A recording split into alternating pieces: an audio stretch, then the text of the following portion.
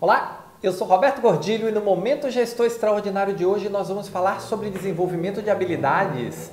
2020 foi um ano de virada, um ano que marcou o fim de uma era e o começo de outra. E para essa outra era nós precisamos de habilidades complementares. Como está o seu desenvolvimento de habilidades?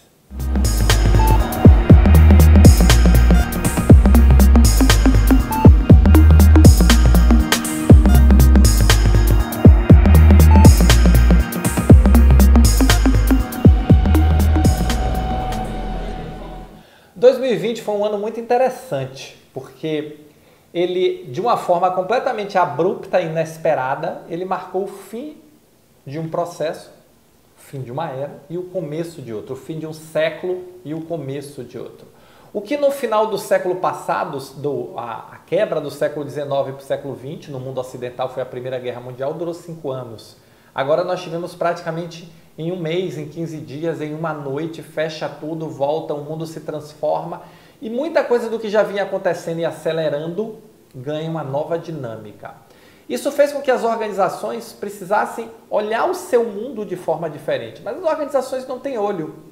Os olhos das organizações são os olhos das pessoas que fazem a organização. Então, no final das contas, nós estamos falando de transformação de pessoas.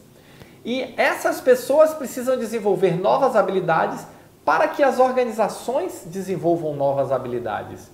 E quando nós falamos que as organizações de saúde precisam agora desenvolver habilidades de agilidade, precisam desenvolver habilidade de inovação, precisam desenvolver habilidade de pensamento digital, precisam desenvolver habilidade de estratégia, rever rapidamente as suas estratégias de forma ágil, de forma rápida, precisam desenvolver habilidades de processos. Nós, profissionais que estamos dentro da organização, precisamos desenvolver essas habilidades em todos os níveis para que a organização seja capaz de responder aos eventos na velocidade que está sendo requerida pelo mercado, pelo novo perfil de cliente. E aí vem a pergunta de hoje: como está o seu desenvolvimento de habilidades? Teve uma matéria essa semana que eu li é, muito interessante que ela dizia assim, eu li no Brasil Jornal, ela dizia assim, é, não pergunte ao Fred Trajano, não pergunte ao, ao, ao Trabuco, presidente do Bradesco, quantas agências eles vão abrir, quantas lojas eles vão abrir. Pergunte quantas novas habilidades eles estão focados em desenvolver sua, em suas organizações. E é bem isso. Cada vez mais nós temos que focar no desenvolvimento de novas habilidades para novas organizações para garantir a relevância.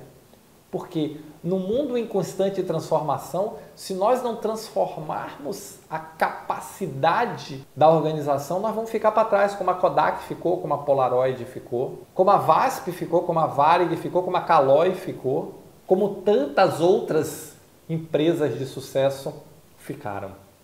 E observe que eu não estou falando de empresinhas de fundo de quintal. Foram grandes empresas que ficaram para trás e perderam a relevância do seu tempo. Hoje, talvez algumas até ainda existam uma fração do que eram antes. E como nós vamos garantir essa relevância enquanto pessoas, enquanto profissionais e enquanto organizações, desenvolvendo novas habilidades? E já está claro, apesar de toda a incerteza que ainda existe, que nós precisamos desenvolver agilidade, pensamento digital e inovação, fortalecendo cada vez mais liderança, estratégia, tecnologia, processos e pessoas. Ou seja, as cinco habilidades base agora viraram oito habilidades base. E cada vez mais essas habilidades bases elas se multiplicam em dezenas de sub-habilidades que nós precisamos trabalhar e desenvolver.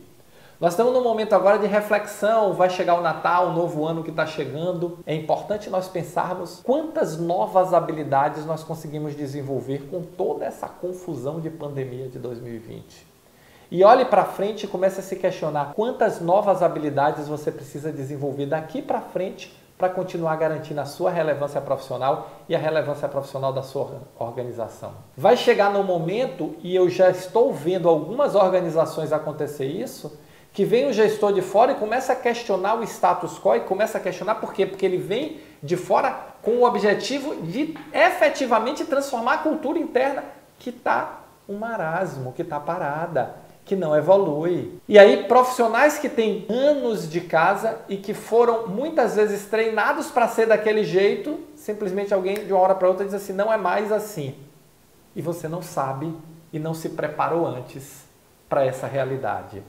Isso está acontecendo muito mais do que vocês imaginam. Eu estou vendo isso todos os dias. E o foco hoje não é mais fazer curso, é desenvolver novas habilidades. Fazer curso é meio para desenvolver novas habilidades. Mas eu não posso focar no meio, eu tenho que focar no fim. Não adianta eu vou fazer a pós-graduação, a pós-graduação B, eu vou fazer o curso A, eu vou fazer o curso B. Tá, eu quero desenvolver quais habilidades? Eu quero me preparar para entregar que resultado? Eu quero me tornar um profissional para que cenário? Essas são as perguntas base. E eu posso te garantir, eu não posso garantir todas, mas eu te garanto que desenvolver uma, implementar uma boa estratégia, saber gerir pessoas, ter liderança, saber gerir processos para ganhar eficiência, saber trabalhar com tecnologia para que pessoas e processos entreguem mais resultado, ser ágil, inovador e desenvolver o pensamento digital Está na base.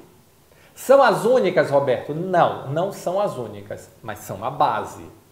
Então, como está o seu desenvolvimento de habilidades? Será que praticar a gestão que você pratica hoje é suficiente para a demanda que a sua instituição tem de você?